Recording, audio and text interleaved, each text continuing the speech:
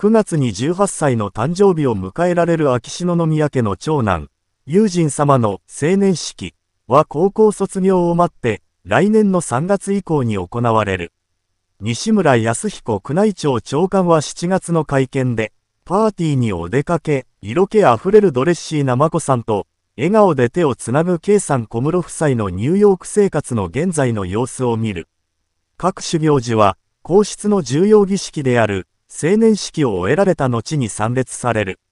と明かしたが、このまま皇室制度に一切の変更がなければ、即位が予定される悠仁様が今後望まれるのは、空席となっている皇太子を決める、立太子の礼、か立皇子の礼、か。それとも秋篠宮様の即位自体が現実となり、いずれにも望まれずに即位されるのか。そもそも、悠仁様の即位、それは小室圭さんが、天皇の義理の兄、となる日が来ることを意味する、は本当に実現するのか行為の行方を占ってみた。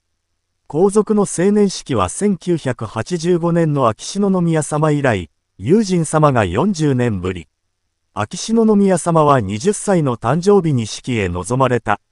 現在は民法改正により、2022年4月に成年、成人の年齢が20歳から18歳に引き下げられているが、20歳というのは明治時代の1896年に民法で決められた成人年齢である。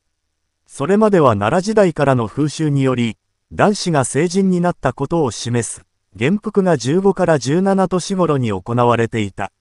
日本で成人の儀礼として慣例、中国の元服が行われるようになった事実を確認できる最古の例は、奈良時代の714年にあった首、帯と王子、後の聖武天皇である。食日本儀には、頭に冠をかぶせる儀式だった慣例が、元服を加えるとの表現で記述されている。清和天皇が864年の元日に、やや早い15歳で元服を迎えたことも史実として裏付けられている。18歳という境界線が持つ意味。他方、1889年制定の旧皇室典範で、皇太子は18歳で青年を迎えると規定されたことから、明治天皇は68年に16歳で元服を迎えたものの、大正天皇は97年に18歳で青年の祝賀を受けた、式は喪中のため見送り、昭和天皇は1919年に18歳で青年式を行い、上皇陛下も18歳で青年式をされた。このように、男性皇族でも皇太子、皇子、は20歳ではなく18歳で青年式を行う決まりが踏襲されたため、天皇陛下も18歳で青年式に臨まれたというわけだ。一方、立体子の例は平安王朝の通過儀礼では最も重要で、為政者である帝王、皇帝としての統治権を有す資格を付与されるという点からも、重大な意義を持っていた。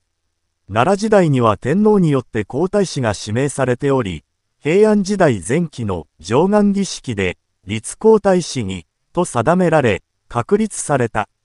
当時は天皇が複数の候補者の中から、自身の後継者となる皇太子を決定していたため、皇太子を正式に決定する儀式として立太子の例が極めて重要な意味を持っていた、という経緯があった。